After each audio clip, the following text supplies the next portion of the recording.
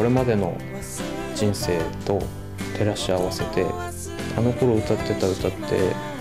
とっても良かったよねっていうそういう気持ちを少しでも思い返してくれたら。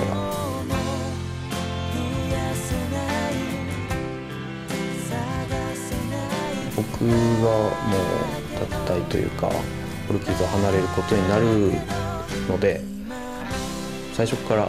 えー、俊太郎に歌ってもらいたいなと思ってメロディー作りをしました。今まででも一番いい作品が最後に撮れたんじゃないかなと感じました。フォルキーズの、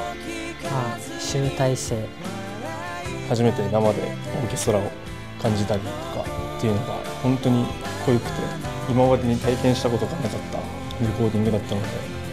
まあ、この今までで一番思い出に残るレコーディングになって、まあ嬉しいような寂しいようなっていう感情が一番です。当日しかそうやって4人で歌えないので、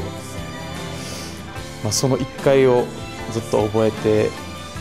胸に留めながら今後もずっと大事に歌っていけるように3人になっても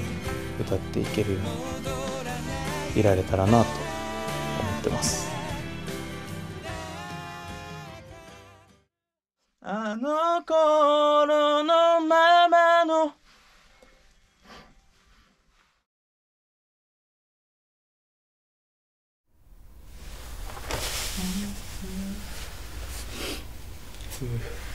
すいません。やっぱ。すいません。絶対本番本番歌えなそう。